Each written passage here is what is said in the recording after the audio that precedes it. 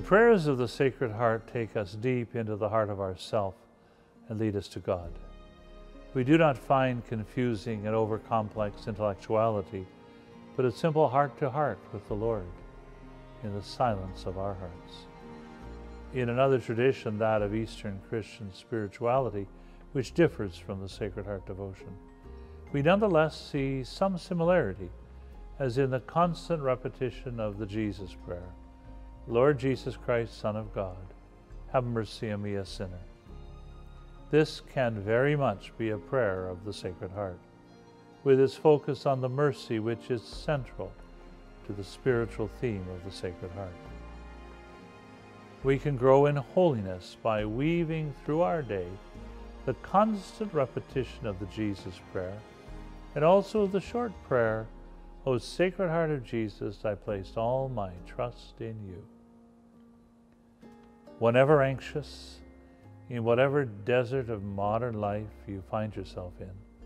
Repeat throughout the day the verse from the prophet Isaiah that is closely associated with the gloriously divine and humanely human devotion to the Sacred Heart. With joy you will draw water from the wells of salvation. Isaiah chapter 12, verse 3. That verse provided the name for the most important papal encyclical on the Sacred Heart.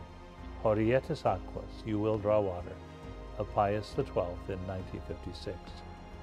It is also quoted in the preface of the Mass of the Solemnity of the Sacred Heart.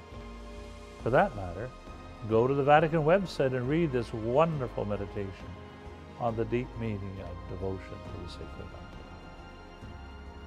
Some people find great spiritual value in beginning the day with the morning offering prayer. O Jesus, through the Immaculate Heart of Mary, I offer you my prayers, works, joys, and sufferings of this day for all of the intentions of your Sacred Heart, in union with the holy sacrifice of the Mass throughout the world, in thanksgiving for your favors, in reparation for my sins, for the intentions of all my relatives and friends, and in particular for the intentions of the Holy Father. Amen.